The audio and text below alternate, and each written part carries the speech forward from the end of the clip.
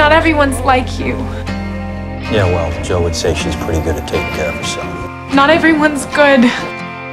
And the last time someone grabbed me like Jason did, I promised no one would ever do that again. Stop calling me princess! My mother left me at a fire station when I was two weeks old. I don't always trust people who are trying to help me. I got bumped around foster homes till I was 16 when I into my own hands and started living out of a car. You lived in your car in high school? It's Just a piece of paper that says legal document, Alex. It's not just a problem.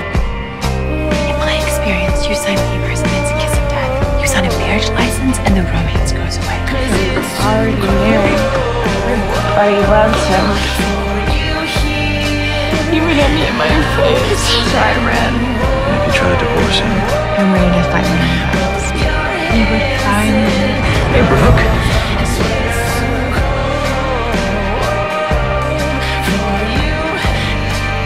Put your name in your heart.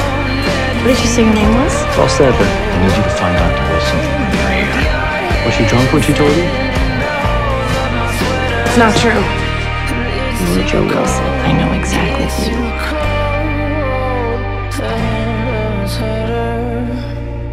I want there to be something good.